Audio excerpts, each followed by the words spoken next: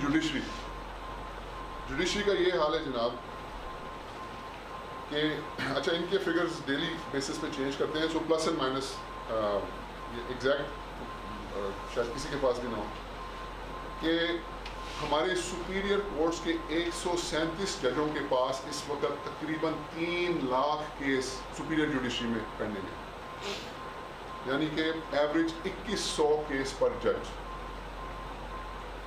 Lower court में तकरीबन मुल्क के अंदर तकरीबन 1800 जज हैं, जिनके पास 14 लाख केसेस पेंडिंग हैं, तकरीबन 900 केस पर जज ये लोअर जुडिशरी का बताएँ, ये ह्यूमनली कैसे पॉसिबल है? एक जज 2100 केस या 900 कैसे पॉसिबल है? वो कैसे करे बेचारा? जज और जज कौन होते हैं? जज तो जनाब सोसाइटी के वो लोग होते हैं यानी कि अगर कोई नेशन किसी ग्रिड लॉक हो जाए डेड एंड आ जाए तो वो जाते हैं फिर जज के पास। आपको याद होगा बुश वी गोर अमेरिका में इलेक्शन हुआ वो सुप्रीम कोर्ट के पास गए। अच्छा वो जो दो हफ़्ते लगे, उनको डिसाइड करने में वो इसलिए नहीं लगे थे कि वो डिलिबरेट कर रहे थे। वो इसलिए लगे थे क्योंकि उनके पास डॉकेट जो था, जो अगला टाइम था, वो दो हफ़्ते का था। जिस दिन केस लगा, पाँच मिनट पाँच मिनट के अंदर सर, पाँच मिनट में फैसला किया सुप्रीम कोर्ट के चीफ जस्टिस उठा के बात कहें कि मेरा वक्त ज़ाया ना करो। I have better things to do